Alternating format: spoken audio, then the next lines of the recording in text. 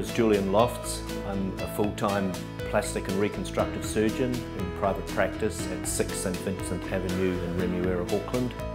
I specialise in breast augmentation. I do approximately 80 to 100 cases a year and that would make me one of the most experienced breast augmentation implant surgeons in New Zealand.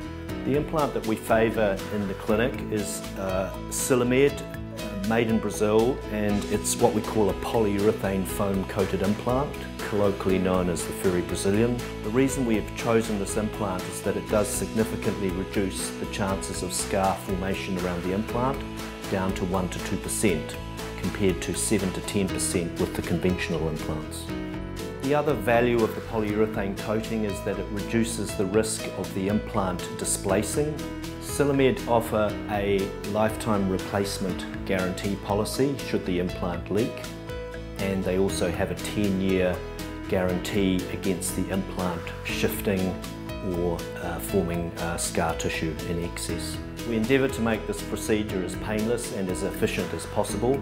Depending on the complexity of the procedure, patients can be expected to be back at work within 7 to 14 days following surgery. For those patients who require the implant to be placed under the muscle, we offer a system called the Pain Buster, which is a reservoir which puts local anaesthetic around the breast implant and numbs the muscle for 48 hours.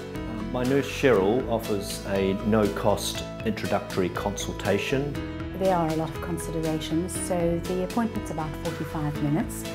Um, it's totally um, obligation free and also obviously totally confidential.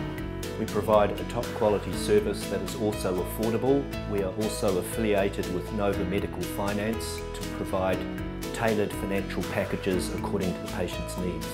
If you would like to get hold of us, please phone 09 520 3906 and talk to Alicia who can make an appointment for you. You can access the website www.plasticsurgeon.co.nz and we have an email inquiry service that will be answered very promptly.